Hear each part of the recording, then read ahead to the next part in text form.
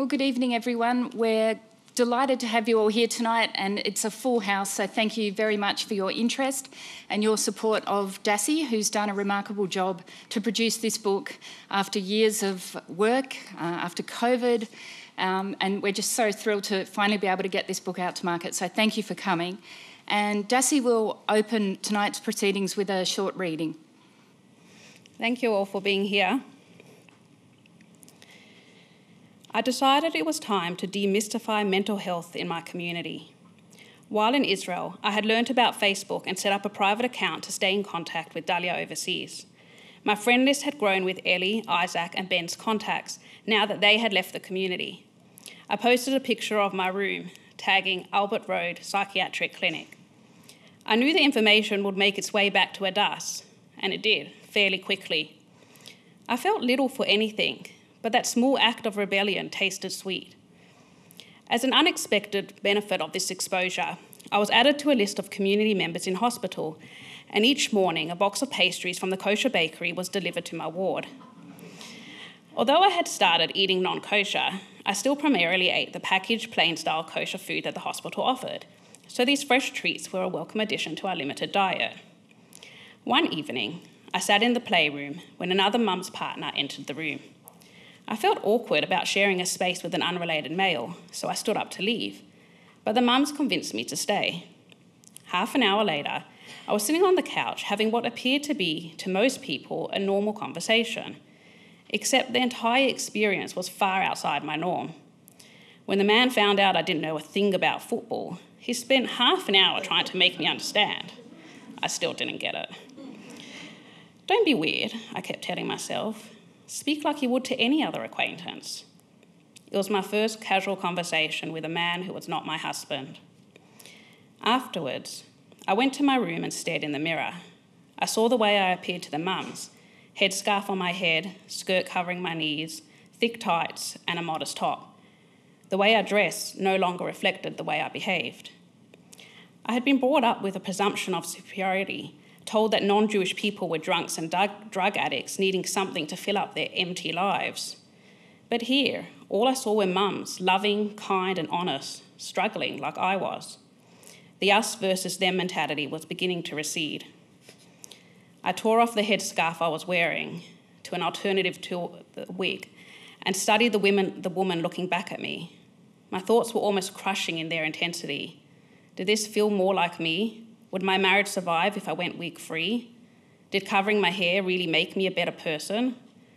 I contemplated this for several minutes, exploring the idea that everything I had been brought up with wasn't as absolute as I believed. Questioning my beliefs brought a strong sense of danger, but instead of feeling scared, I felt an eagerness to push it further. Thanks, Dassi.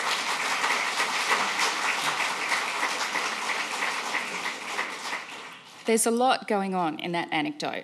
And where you actually open that, you say that you want to demystify mental health and you want to shine a light on mental health. Why was that important to you?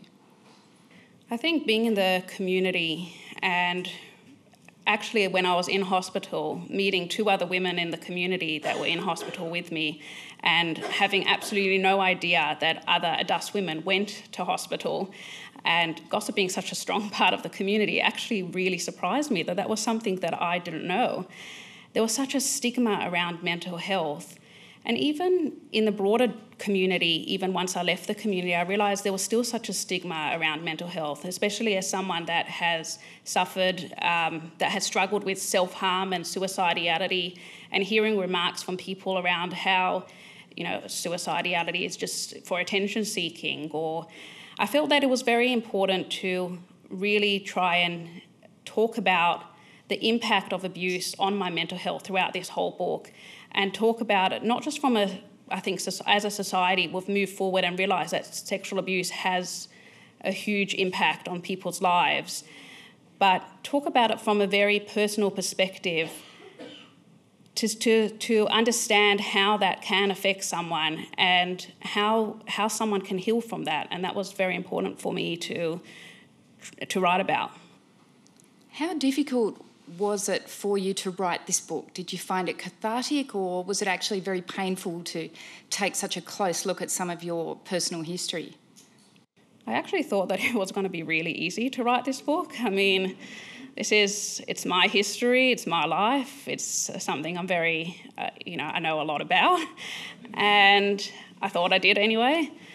I actually realised that trying to write my childhood um, and trying to write trauma and trying to understand and trying to go back into my younger self and write from that perspective was something incredibly difficult. The way trauma works, I think, you know, we don't have a chance to process those memories. And for me personally, they, I disassociated from a lot of those memories. So I didn't have, I didn't, there was large chunks of my childhood that I didn't have. And a lot of the memories that I do write about are actually about my siblings because those are the memories that I do have. But having to go back and sit in that space in my young child self and write about that was something much hard. I mean, I actually couldn't do, I actually couldn't even sit and do that for a whole year. And Ellen ended up interviewing me so we could kind of get an idea of, of what my childhood was like. And I looked at that interview and I said, yeah, that's not going to work at all. So I sat for another whole year in front of the computer, day after day, just trying to put down some words of my childhood. And in order to do that, I had to actually go and sit and revisit those memories that I was terrified of, of looking at. And it, once I was able to do that, I found it incredibly cathartic. Can you share a couple of those memories with us from your very early childhood? That's, that's a more difficult thing to do. But, and I do write quite a few memories um, as, as a young child in the community, in my parents' home, who were very abusive uh, and used religion as a, as a tool of abuse as well.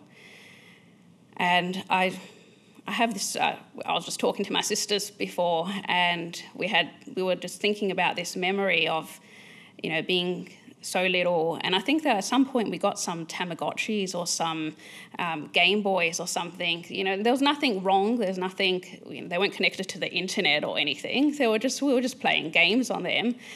I don't I don't even know how we came across them, but I remember my mother gathering us around and having us all watch as she completely destroyed them with a hammer in front of us and saying that these were against religion in some way. They weren't. That was a part of her abuse, but making us sit there and and watch her do that, and that was something that was a common theme. She was she was very abusive, and when she would abuse myself or one of my siblings, she would make us all watch, and um, yeah, that was not something that I like to remember.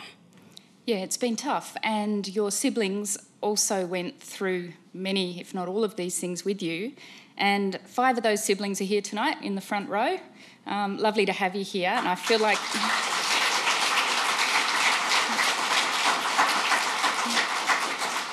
I feel like, from what I know of uh, that part of the reason she's sitting here being as amazing as she is is because of the support she's had from you guys. What do you think, Dassi? Absolutely. I literally would not be here without the support of my siblings.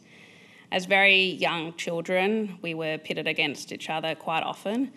And as young children, we didn't know any better.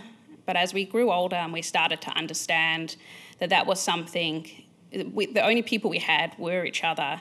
And when we were pitted against each other, we would go and apologise to each other afterwards. And in a way, that was our sense of rebelliousness. As teenagers, we had no other way to rebel but to kind of come together and be each other's support system.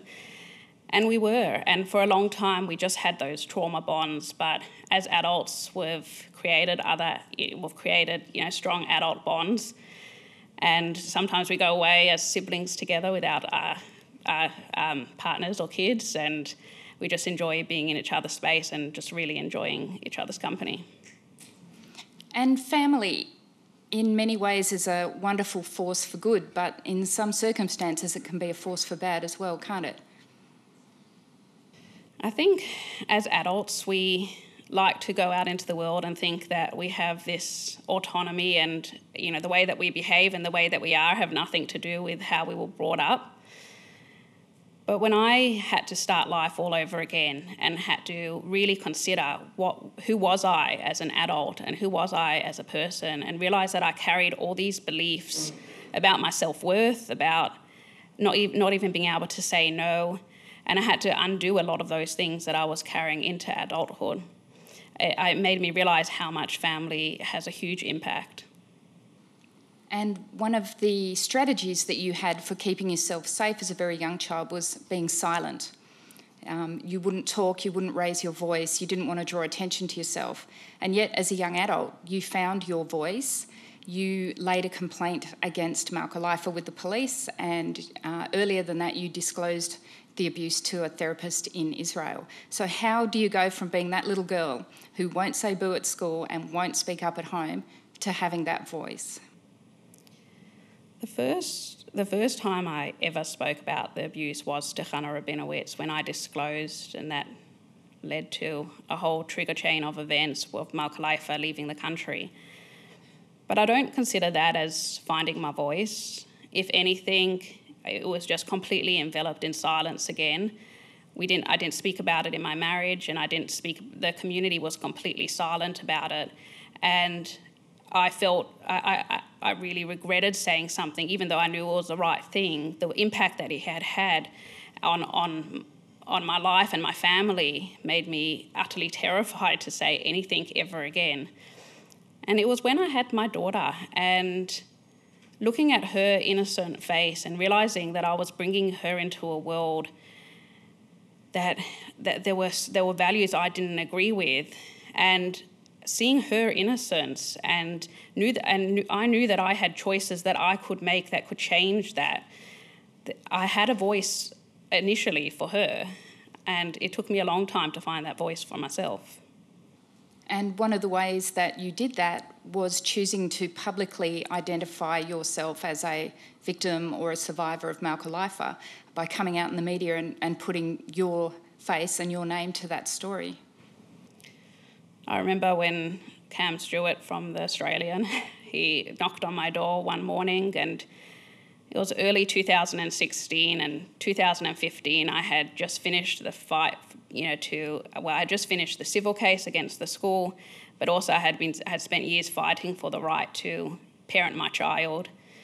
And he knocked on my door asking me to identify myself. At that point, there was nothing I wanted less. I literally I slammed the door in his face. And he's apologized several times since then.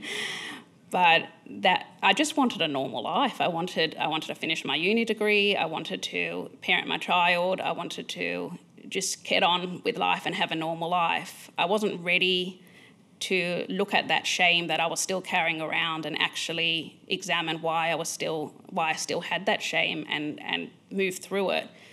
But after a year of road tripping and skydiving and going and and, and moving and going back to uni and finishing my degree and meeting beautiful people and beautiful friends, I realized that that shame wasn't mine, it was actually hers. And I was willing to put my name to that story, I had no idea what what that meant or what that would bring or where that would go.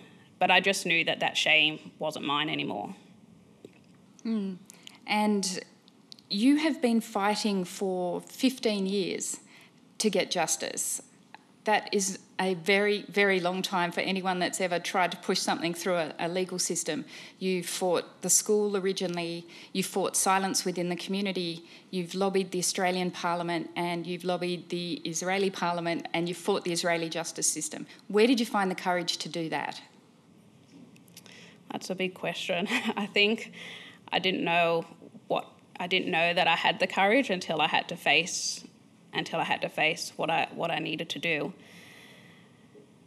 But it was having well having my sister doing it together with my sisters, and I think that you know having the, us three being together and being able to do it together uh, was what got us through those very very long years, and then meeting people like Ted Baillieu, who I can see here in the audience, and and having him stand up and give credit to our story and then people coming together, and so many people and so many voices coming together to to, to, show, to show society that we weren't just going to allow this person who had manipulated the system for so long uh, and, and manipulated all of us to continue to manipulate the, the justice system.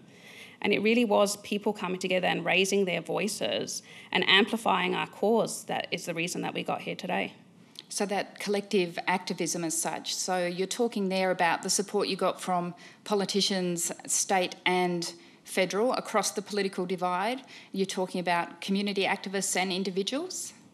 Oh, absolutely. I think it just it still amazes me to look back at that journey and realize the people that have come together to, to ensure justice happened. And you saw that on your social media when you started in the very early days, and you just had a few followers. And then more and more people came along and started commenting on your social media pages. And then they joined the fight, didn't they? They joined the fight for justice and to get Malka extradited.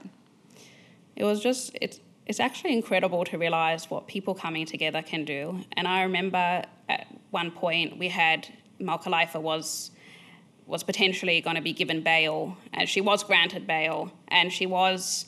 And, and she did have some very incredibly um, prominent people in Israel standing up for her and saying, you know, some rabbi walking into court and saying that he would, uh, he would, he would ensure that she, um, he would ensure that she would uh, stay at his place and he would supervise her, and that it's wrong for a woman to be in prison. And the amount of anger that poured out from people from knowing that this person had stood up on behalf of an abuser and that she would be given bail. And we knew that if she left prison, there was no way that the case was, would ever continue. She would flee the country. We, we, were, we were very aware of that. And the people that came together to, to right that wrong was just absolutely incredible to see. And eventually, that rabbi did pull back and decide not to, uh, not to um, support her bail, and her bail was refused. But I just, I remember sitting in bed that evening and just thinking, we're not alone anymore. Like for so long, we, it felt like we had been alone and we weren't alone anymore. Like there was all these people that were willing to take up our cause and willing to, to right this wrong and that even if there were so many people supporting her, there was more people supporting what was right. And that was an incredible moment. Did that scared little girl ever think she'd grow into a woman who would be speaking to prime ministers and former state premiers and stalking the halls of the Knesset in Israel? Never, never, ever could, could have imagined a life like that. So beyond anything I could have imagined. And actually, very often when I'm in situations like that, I'll kind of just step back and and look at that from the from the eyes of my younger self and think, you know, who could have ever imagined I would be here? And there's a sense of pride in that. Yeah, there should be. In some ways, the ultra Orthodox community in Melbourne is quite visible, um, particularly in the suburbs where that community mainly lives. But actually, it's quite a closed community, and those of us who are not from within that faith don't know much about it there is a lot of information in this book about how people live, and it's absolutely fascinating. How important was it to you to get some of those stories out and bring a bit of light into a otherwise very closed community? I think I could have written ten books about about life in the community and the way that that life works. I mean, from, from the second you wake up and which way to get out of bed and, and how to wash your hands and how to lean over the bed in the right way. I mean, the community governed our life from morning to evening, and it would have been impossible to fit that all into one book. But I tried to give as much as possible a sense of what day to day life was in the most authentic way that I could rather from my critical adult self, from going back to my younger self and trying to give it give an understanding of what life was like as a young child in that community. There are anecdotes in there where, on one occasion, you're like, I'm not going to eat bread because the blessings are too long afterwards and I can't be bothered. and it was, and it, that did happen very often. It would take us several minutes to, to make a blessing after bread, and sometimes it was just easier not to eat bread. So I think people will find that really interesting. The, it's a it's an absolutely fascinating look inside a, a, a, culture that really we don't see. And the Sydney Morning Herald um, wrote a very interesting review actually, but they described it as your journey as leaving a cult. Do you agree with that assessment? I'm a bit hesitant to use the word cult. I think there are very uh, uh, that kind of brings up this idea of you know uh, some person and usually it's some white guy with you know that's very manipulative and likes to exploit other people. And this is a way of life. And even though there is cult-like qualities uh, to the community and the insularity of the community and leaving the community was something that was very in some ways when i've read books about cults i found i found points of that that resonate a lot with me but I don't like to use the word cult. It is it is a way of life, and as insular as it is, it's it's not a cult. And there's been various milestones along the way that have been um, very important turning points in your life. One of them was when you first heard that Malka Leifer was arrested in Israel. Can you remember where you were when you heard that and how you felt? I remember being in I think it was Rome. I was in Rome with my sister Elly. And at that point in the system, at that point, we knew the extradition order had gone to Israel, and it was, you know, two or three years later, and we hadn't heard anything from Israel. And for all intents and purposes, we believed that the case was never going to continue. We didn't think at that point that there was anything we could do to, to, to make that happen. And we were in Israel, uh, sorry, we were in Rome, and I just remember getting that news. It was such a it was it was so sudden that we had no time to prepare ourselves for that suddenly to come into our lives. I mean, we were traveling around being tourists. The thought of Malka the furthest thing from our mind. Um, and I, I remember talking to Nicole on the phone and saying, should we should we come back home? You know, we just wanted to be together to support each other through that moment. And ultimately, we decided that we'll continue touring because we loved being tourists and we didn't want to be Malka victims. But all through that trip, I remember hearing gossip coming through the Jewish communities around the world to say, you know, that these were irreligious people that were making up stories. And I just remember sitting on the beach in Barcelona with Elly and having a drink and just you know looking at looking at those messages and just toasting to the fact that we were on a beach you know in, in bikinis in, in having a life that no one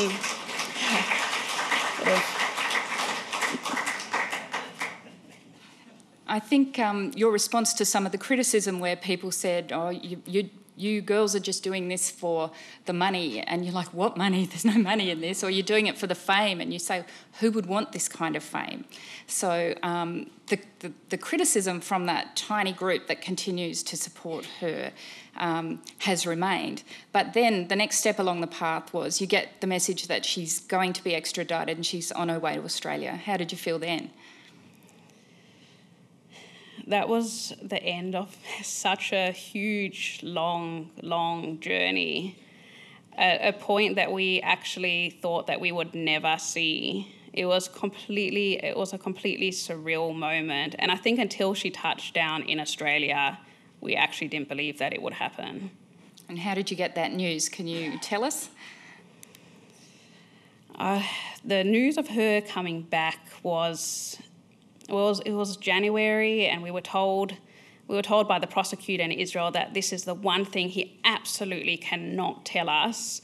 I mean, he had called us before and after every single of those 74 court hearings in Israel and explained the law to us and what we could expect. So when he told us this was the one thing that he couldn't tell us, we didn't really believe him. We thought that maybe, you know, he could he could let us know. But Australia and Israel, Israel were quite worried that there would be some efforts made to to intervene, and so they kept that a complete ironclad secret that no one would know. And that photo that was taken of Malka Leifer on the airplane, um, you know, in handcuffs with the police officer standing next to her, that was not a picture that was ever meant to be seen. It was some other person in the airport um, that just saw that moment and thought, oh, this is this is something um, I can share with the world. Took that photo and promptly sold it to the news, and that's how we found out that Malka Leifer was coming back to Australia. And of course, the other great milestone was after the trial, she's found guilty and sentenced to jail. And you write in the book that you felt that you'd spent 15 years walking towards something and now you could start walking away from it. What feeling did you have the day that verdict was handed down? I remember writing that line in my diary. You know, this is this. I remember waking up that morning, and actually, I had woken up and I was in a psychiatric hospital again, and looking at my life and realizing that no matter that I had spent so long in my life walking towards this moment of justice, really every moment since I had given my police statement, every moment since she had abused me was walking towards this moment. And there was such a sense of freedom in knowing that I was actually walking away from this. I was, I was, it was behind me. I was looking, I was looking at it behind me when so, for so long it had been there in front of me.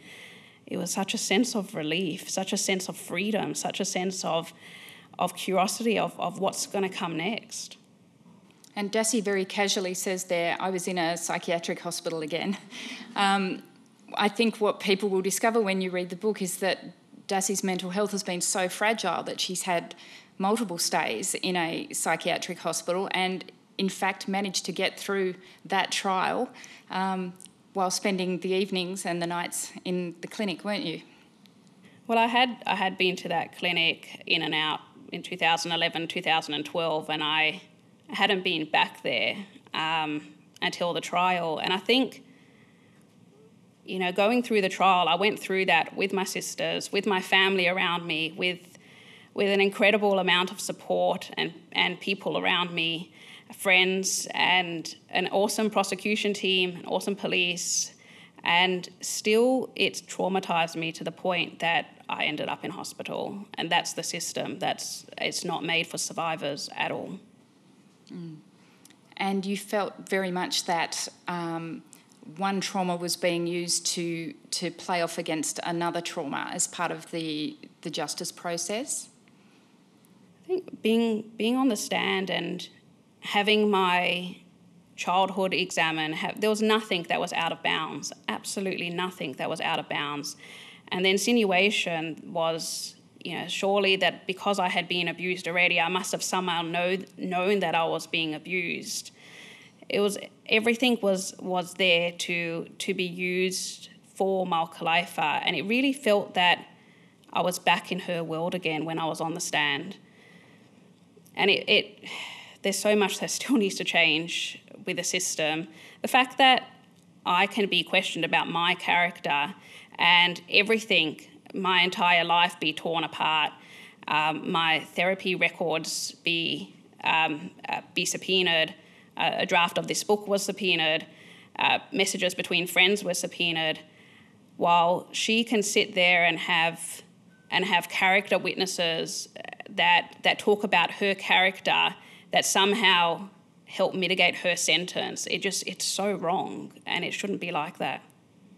I think one of the things you've done here is expose wrongdoing in many aspects, and one of them is the way that the uh, parts of the school community responded when it became obvious there'd been a complaint to police.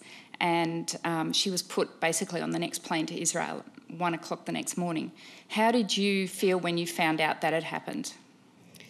I actually didn't know how that played out until my civil case. And I was sitting there in court and, and hearing that all play out. It was an absolute. It was shocking, and I remember just escaping to the bathroom multiple times to go and scream into my hands because there was just, it was just, it was just horrifying actually to discover how she had been paid to leave and to know that she was in a position to hurt other people and that didn't seem to be a concern for the people that had sent her away. Did you feel betrayed by that? Absolutely. We're going to come to audience questions shortly, so please put your thinking caps on because we'd love to um, to hear your questions. But before we do, Dassi, what's life like on the outside? A life that I could have never imagined. Um, one of actually one of my favorite things to do is just to head out onto the road and go on a road trip and have no idea where I'm going. And the idea of just being able to you know, stop at some random town and have a little coffee and, and some lunch is something that I could have never imagined doing. any all of my life, and it's something that I actually really enjoy doing. What about all those things like getting speeding fines, eating McDonald's? All of that too. we won't give away too many of those secrets then, perhaps. And what's this about skydiving? Well, one of my brothers uh, introduced me to that, and I've tried it once, and definitely I think we plan to do that in a few weeks again. And it's something that's just utterly thrilling. Try it. And so, Dassi, you're here now, the book is launched. Um, you've got through the writing process, it took three years. How are you feeling now? There's, there's a sense of life being open now, of there's a sense of, I feel like my sense of curiosity is back, something that I, I didn't have for many years. And it's exciting to look at the future and know that there's choices I can make so different than the one that was the life that was preordained for me. Well, thank you for sharing that with us tonight, and we look forward to uh, taking some questions. Thank you. Thank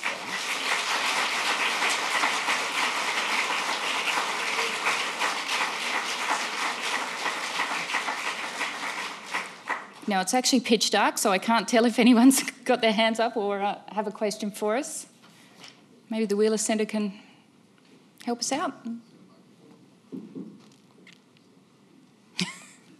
hello. Yes, hello. Um, thank you very much. That was uh, very interesting and entertaining. Um, my question is um, Did you have a say in the title of the book? Where did the title come from? But also, do you think that the people who perpetrated the crimes, Malka Leifer in particular, did so a- a- out of a sense of faith? Or where do you think that came from, from for her? Thank you. So, with the title of the book, um, the publisher actually chose bad faith, and I wasn't, I didn't love that idea. I was sitting in the car with Nicole, and she suggested in bad faith, and I said I'd like that idea a lot more, and here we are in bad faith. With sorry, the other question was about faith, and are you talking about the people um, that have sent that sent Malka Leifer away? So I've I've spent a lot of time trying to consider how how why that happened, why did that happen that she was sent away, and how that played into into faith. And it really was the silence it really was about silence. We just didn't talk about those things, and to send something, to send someone away, was the easiest thing to do. And that was that was the way that a lot of problems were dealt with in the community. We just didn't talk about it, and we just didn't we just didn't consider it, and we just tried to shove it under the carpet as far as it it could go. And that was a lot of, about the culture of the community. Thank you.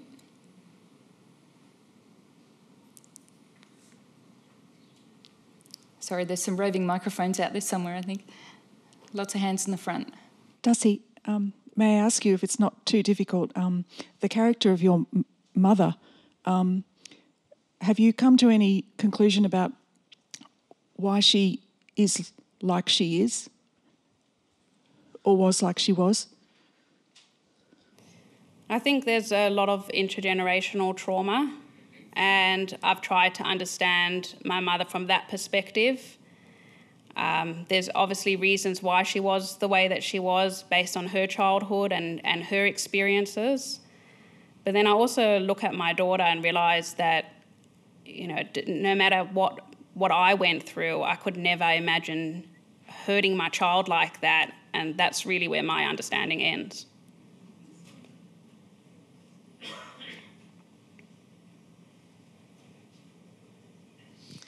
Uh, hi, Dassi. Um, being the role model that, that you are right now, do you believe that other people who are in similar situations to what, what you were in are beginning to come forward?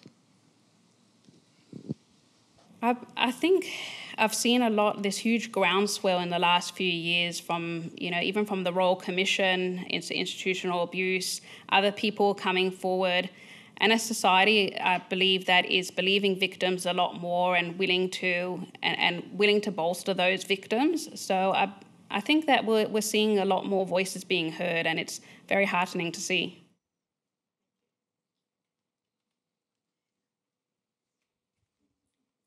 Think one of the areas that um, we might be talking about in the future is better ways that, that victim survivors can be supported in court because one of the things, of course, is that you can be on the stand being cross examined and then it comes to the weekend and you have to go away for the weekend and you're not allowed to talk to anyone and then you have to come back a couple of days later the following week, which is incredibly difficult, isn't it? So there are, there are plenty of conversations, I think, to have about how the courts can do better. Me? Um, Dassi, thank you very much. Um, I, I can't say I'm going to look forward to reading the book, but I'm sure it's amazing. I have a question for you to ask. There's love, faith, and hope. I'm not a religious person, uh, but I've worked with many families who are. But at what stage did you actually lose hope and was it multiple times? That's a, a tough question to answer because I'm trying to think back when did I lose hope and wondering if I ever had hope to begin with. Um, but I definitely, as I grew older, I had that hope. And in the book, I talk about that path towards healing, and, and hope was a part of that, of, of hoping that things could be different and knowing that they could be different.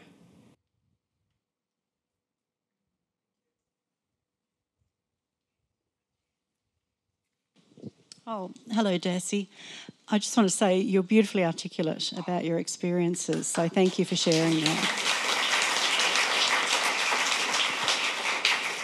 I was interested in your reflections on motherhood, but I actually wanted to ask you about the writing experience because it's not just your story that you've told, it involves your family and your community. How, how did you manage that process of being in a, in a kind of biographical or memoir scenario? And I'm guessing that your editor might have helped you as well, but how did you, how did you find that writing process? And is there another book in Dassi? I hope so. um, actually, because it did involve other people, uh, my book, especially my siblings, that was something that I sat down and talked with them, and I showed them particularly the childhood chapters and asked them if they were okay with what I had written about my childhood because that was also their childhood. Um, and they gave me feedback, and I changed if I had to. But it was it was an incredibly difficult process and it, it took a long time. I think there was one point that I didn't write for a year. Um, I, I would keep I kept opening the computer and just couldn't do it. Yeah. Why don't you um, say where you started? The first chapter that you wrote? Well, actually, actually, the first chapter that I wrote was about my sister Dahlia and her death. And that that chapter came out immediately. The emotions were very present. I wasn't in any way disassociated from from those memories, and it was something I desperately wanted to write about. And I think I kind of wrote almost the whole middle of the book, um, and for a long time that's where it stayed until I was able to write my childhood, and then it was actually after the trial that I wrote the rest of the book. Excuse me, uh, Dassi, deriving out of something you said before in relation to uh, Leifer being moved out of the country, to your knowledge at the moment, are police still investigating the possibility of charging the board or members of the board, those who are still alive? And the second question, if I may ask, and I may have missed this with, with, because of my poor hearing, um, are you aware of other people of your generation who were abused by Leifer but were reluct- are reluctant, of course, to come forward because of the, community ties, the strong community ties? Um, I, I, am aware of other victims, uh, some of them that were in contact with us during the trial, uh, wanting to know the outcome as, as much as we did. Uh, but uh, the rest of the victims stay within the community and that would jeopardise their place in the community by coming forward. So they haven't come forward. Um, and in relation to your question about the police investigation into the board, that is open.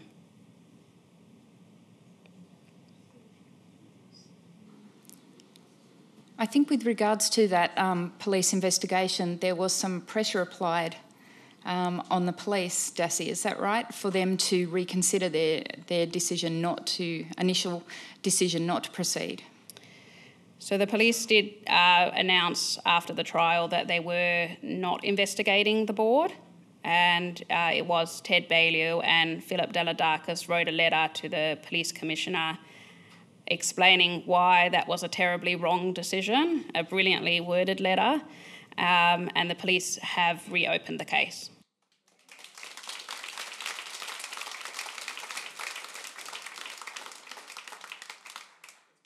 Uh, Dassi, I've read your book and it left me angry, sad, upset, all a range of emotions. And obviously, probably that was how you were at the time too, or part of it. Um, you said that your daughter, looking at your daughter, was a very strong motivating force for you to go ahead and be so open and honest.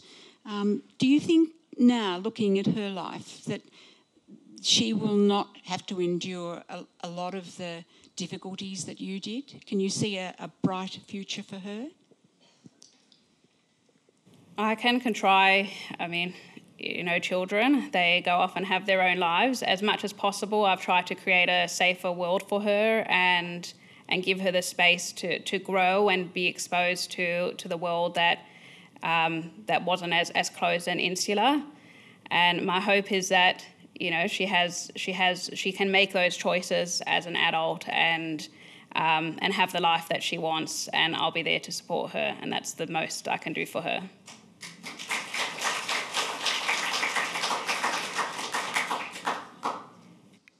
Dassi, it's Abe here. I want to again congratulate you on the courage that everybody is seeing in you. And I want to take you to your remark about when you first disclosed it to the public media about the abuse and the courage that that took for you. And I'm going to take you to the moment in the Jewish community, to the Limmud conference, a Jewish uh, community conference for those in the room that haven't heard of Limmud. Was that the first time that you disclosed it purely to the Jewish community? Because I remember sitting in the audience and then you came on my radio program later later that evening. Because what was the difference between the courage of going out generally to a community that didn't know you, didn't know a Adass, didn't know anything about the community? And then is there a distinction of how you felt doing it for the first time to the Jewish community? That's an interesting question, but I think I remember speaking at that Limmud conference and it was the first time that I had considered that there were other parts of the Jewish community that did support us because up until that point, you know, I knew I knew about the Jewish community that I had grown up within, which was so separate from the wider Jewish community, and having that support from the wider Jewish community was very powerful.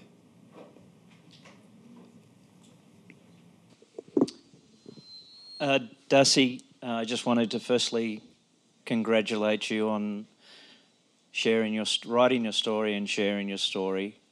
Um, you're wonderfully create, uh, courageous and strong. Um, I just wanted to ask.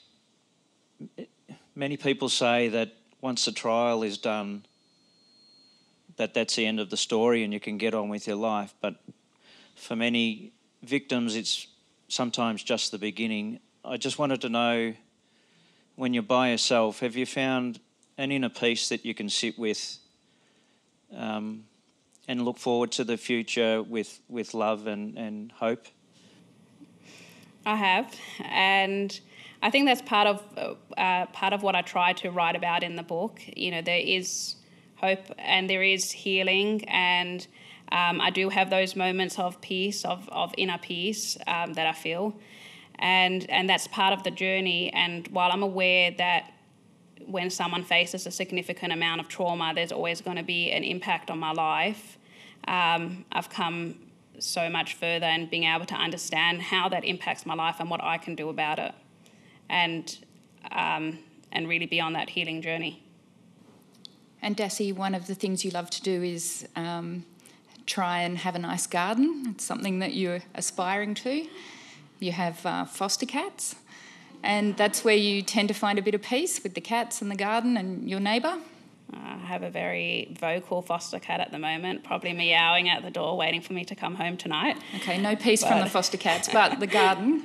the garden is beautiful and actually a, a, a, plant that hasn't flowered for around three years flowered this morning, so that was really nice to see.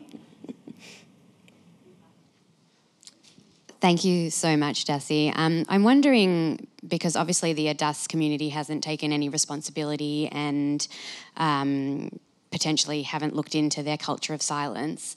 Um, I suppose my question is uh, Have you got any thoughts on how we protect um, or what we do for the children and the future children that go through that community and other communities that are also um, insular?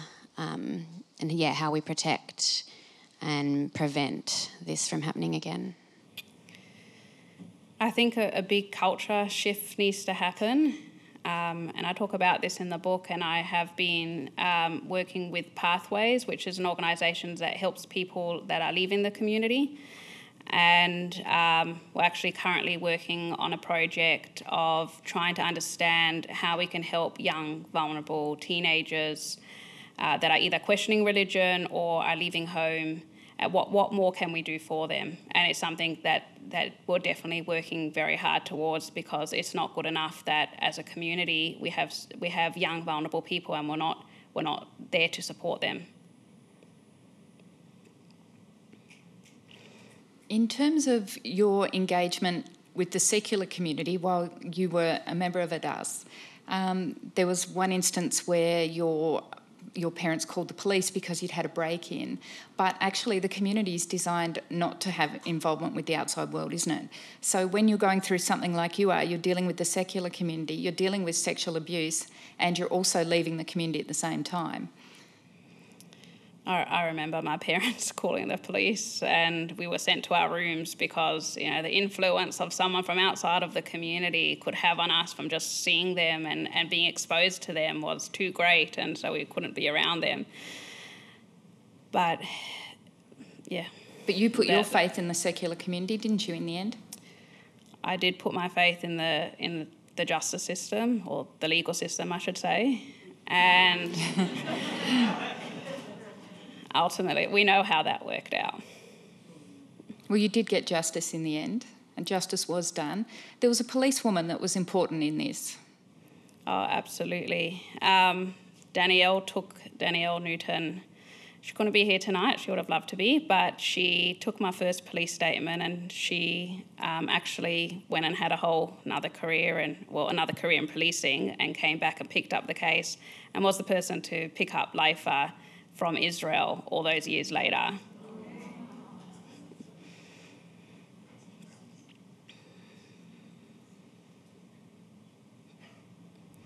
Hi, Dassi. Um, it would be very easy to lose one's faith after what happened to you. Um, what role does religion, Jewish religion, play in your life now? For a long time, um, I wanted nothing to do with religion. Um, I still don't know what I want, um, where, what religion means to me, but it's not something that you know I'm running away from. It's something that I'm trying to to figure out for myself. It's still a journey that I'm on. Dassi, thank you very much, and um, we're in awe of you and your, and your siblings for your courage, and Ellen, well done for you and your part in telling this story um, as well. The, you talked about being in court and the imbalance between you know the rights of the of the victims and and also the rights of the perpetrator. How do we how do we get that balance? How do we send that message to the courts that we need to treat victims a lot better than we have been? I mean, how do I answer that in, in one sentence? But I think we need an overhaul of the whole system. Um, there's so much that still needs to change. Now, I remember sitting in a court in America. Um, my, uh, my sister Nicole and I were there, and we were there in support of another victim. And they have a different system where it's guilty until you're proven innocent. And that seemed to work a lot better for victims. I know that that's not the system we have. but there, there, a lot needs to change.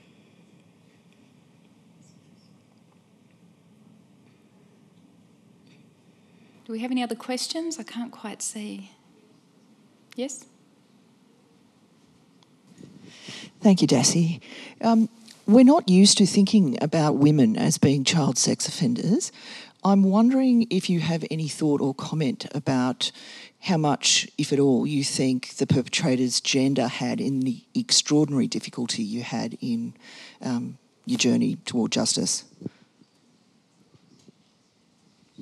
I think her faith versus her gender played more of a bigger part in people coming together to prevent her from coming back to Australia. So I think I think that had a, a lot more. It was a lot more about the community not wanting to, for for many different reasons, not wanting her to be dealt with in a secular court system, or not not even believing that it happened to start with. Sorry, I, f- I forgot the rest of your question.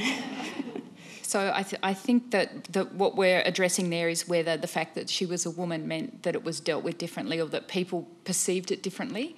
And I think actually Dassi tells a story in the book where um, where she first um, revealed that she'd been abused and the, the person that you spoke to was that they were running it through their mind and going, but how did a man get access to you at the school?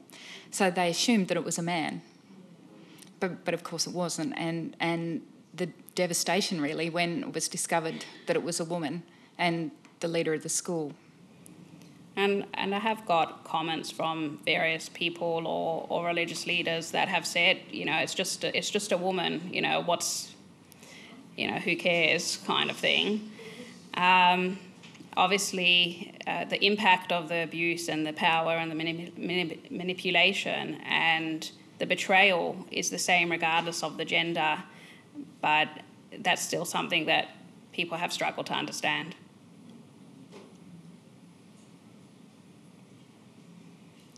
Some questions at the front, please. Thanks. Dassi, uh, Ted Baillieu, um, can I just say it's been uh, a privilege to meet you all and to be able to stand bes- beside you um, over the recent years. Thank you, Ted. In the course of the trial, one of the oddities was that the jury wasn't allowed to know anything about the 74 uh, hearings in Israel, wasn't allowed to know anything about the civil case.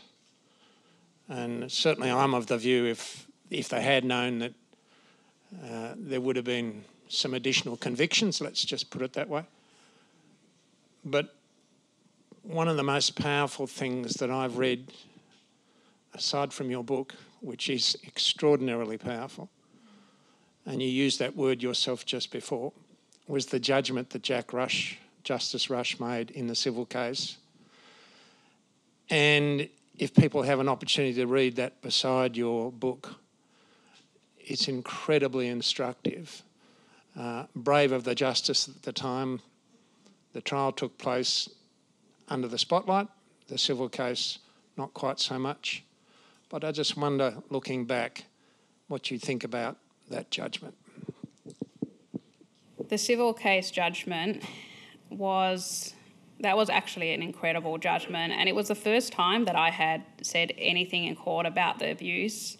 Um, and for that response, to, to get su- such a response, and I think I show how much it meant to me by putting quite a bit of it in the book. But it was incredibly empowering and incredibly validating. And for and for the way that the judge uh, spoke about how the school had, had acted and how they had sent her away, and the words that he used to describe their behaviour was was incredibly validating to hear, and incredible. It, it was something that was that meant a lot to me. I think one of the orders from that was that Malka Leifer individually make a payment to you. Did she ever pay? No. We've got time for one, maybe two more questions if there's any more. Up the front here. Could you find forgiveness or compassion to any of those people that hurt you in your life? I think that's a question that I've been asked over the years, and it's something that I've really considered about forgiveness. And I've realised that I had to forgive myself first, and that was something that I had to learn to do, um, and and give forgiveness for the blame that I that I felt for myself, and that I felt was the most important journey, rather than considering forgiveness. And maybe that will be a part of my future. I don't know, but I think working on forgiveness for myself was what was more important.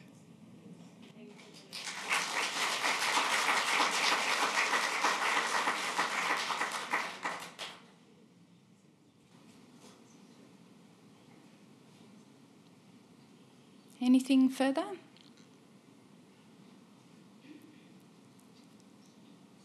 Sorry, I don't want to cut anyone off because I can't see under this light. So, um, so if everyone's finished there, what we might do is um, wrap it up and say thank you very much, um, all of you, for coming along and um, showing support to Dassi. I'm sure you'll agree with me that she is a Wonder Woman. She's so brave, and to watch what she's gone through, um, I've only really been involved with her the last three or four years. There are people here who've been with her all of her life, and she is one very brave cat.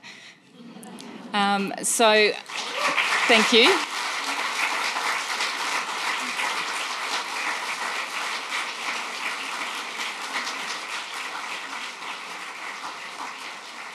Thank you, everyone, for being here.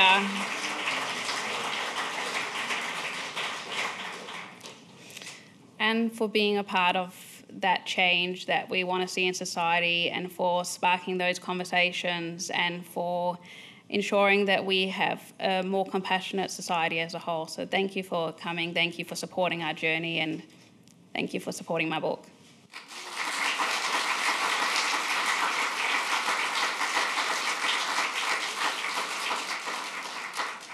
So, thank you to the Wheeler Centre for hosting us. Thank you to our amazing publisher, Vanessa, who's been with us every step of the way. And Dassi will be signing books at the back. So, um, for those who would like to have a quick chat to Dassi and get her to sign, she'd love to see you um, at the back. Thank you very much.